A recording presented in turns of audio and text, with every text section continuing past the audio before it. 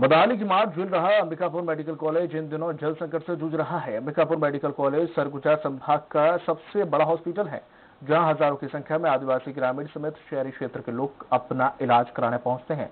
मगर मरीज़ और मरीज़ के परिजनों को अस्पताल प्रबंधन पानी की पूर्ति नहीं कर पा रहा है। ऐसे में मरीजों के परिजनों को पानी के लिए अपनी जेब ढीली करनी पड़ती है और अस्पताल प्रबंधन आँख बंद करके बैठा है।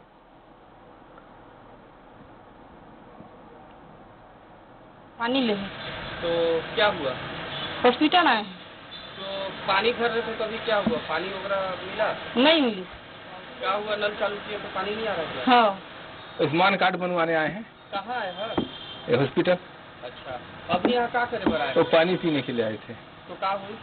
पानी नहीं निकल रहा है ना उससे। अच्छा। तो फिर अब कैसे करिए पानी नहीं निकला था तो? क्या करेंगे? दूसरे जगह जाएँगे कहीं देखेंगे जुगाड़ करेंगे। पानी का जो लेवल है अंडरग्राउंड पानी का वो काफ़ी नीचे चला गया है। दो कुएँ तीन कुएँ हैं हमारे यहाँ। पुराने बिल्डिंग में दो कुएँ हैं और नई बिल्डिंग या एमसीएच बिल्डिंग वाला जो ब्लॉक है उसमें एक कुआँ है।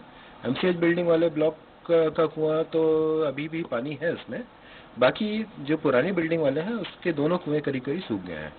उसमें ऐसा होता है कि आधे घंटे हम पानी निकालते हैं तो फिर सूखा आने लगता है पानी नहीं आता है। एक आध दो घंटे बाद फिर से पानी लेने में ही पानी मिल पाता है।